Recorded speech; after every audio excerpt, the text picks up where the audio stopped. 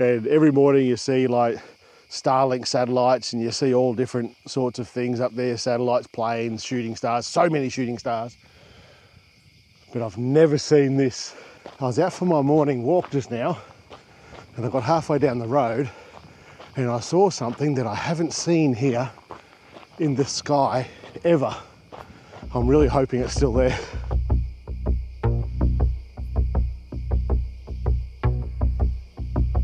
There was a, a definite pink glow in the sky with all these vertical lines. I've never seen it before.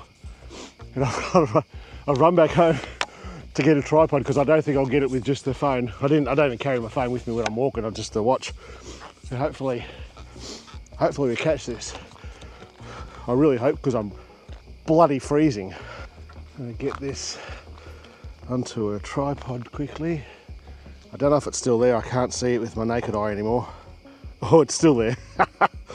oh, this is this is awesome. What is this? I better do Pro Raw.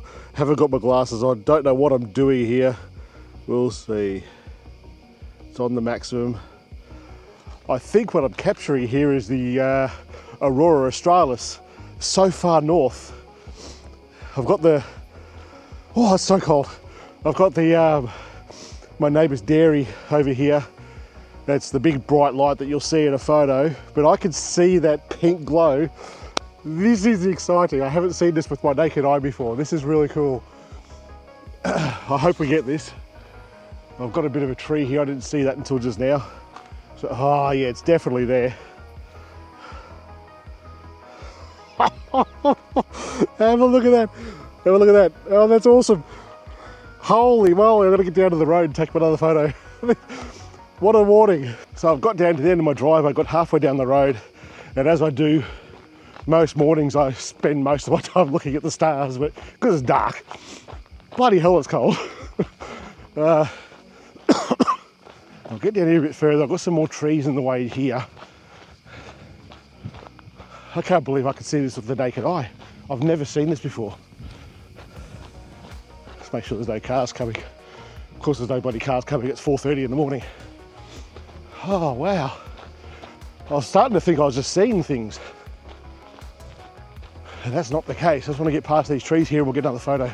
Turns out going for a walk with an extended tripod is quite tiring. I think this is good enough. I'm out of the way of the trees now. I'll take another photo. I can't really hold this as well, guys, sorry. Oh, wow. I might actually come this way a little bit. So the composition, it's got the road in it. I think it adds a little bit to it. I'll keep this light. Actually, I probably don't need to keep the light on at all because the moon's giving us enough light as it is. so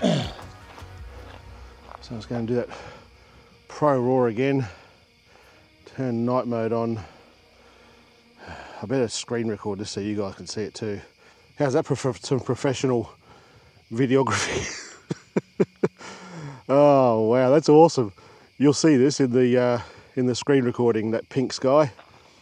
That's amazing. I've never seen it before with the naked eye. I've taken photos of it before, but I've never seen it with the naked eye. Taking a photo now. It's really exciting stuff. Every morning I come down here and I walk down there, way down there, a few Ks, come back, and uh, I spend most of my time looking up at the sky, to be, to be quite honest. And every morning you see like Starlink satellites and you see all different sorts of things up there satellites, planes, shooting stars, so many shooting stars. But I've never seen this. wow, that's just awesome. I better just change this a little bit. This is one of the things with the, the MagSafe holders I was talking to you guys about on the live stream. I don't like the way that's uh, quite set. I think the left hand side is a little bit higher so I can just that's it. I think these are all from, uh, well, that's bright. Just turn that sucker down. You don't need to see that much of a bald head this time of the morning. I think this is, uh, it's four o'clock in the morning here, so I'm probably gonna get this wrong. I'm pretty sure this is all from like solar flares. That's amazing. But I've never ever seen this this far north. Uh, normally I head a bit further south, get over to Bendigo a little bit. Just gonna drop that composition down just a fraction. That's just amazing. Um,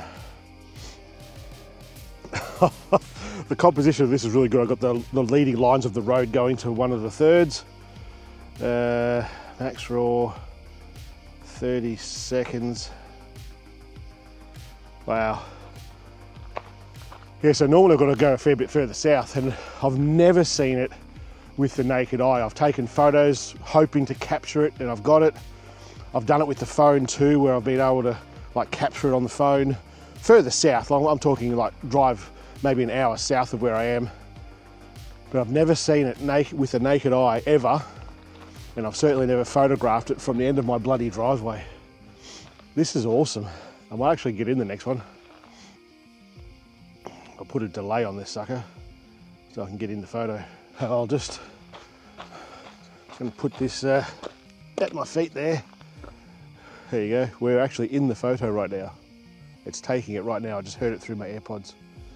It's gonna be really hard to stand still in this photo. So I'm hoping that the light from, there's a light on the ground, which you'll see in the photo, which is probably the one that's gonna make me all blurry because I might be moving, probably am moving, just can't tell. It's very windy. I'm bloody freezing but there'll also be a bit of a light from the screen on the camera that I'm recording on, which should silhouette my head. That's, that's the theory. May not work. It may be totally crap. Photo just finished. I heard it in my AirPods. Who would have thought? Who would have thought that the AirPods can help with taking photos? Oh wow, it worked. oh, this is awesome. This is absolutely awesome. I'm so stoked that I got this. What I'm going to do is try an ultra wide lens, ultra wide camera on the iPhone 15 Pro Max. It's got a lower aperture, so it may not work. All right, this is nearly done. I got a feeling it's not going to be. It's still pretty good. Wow.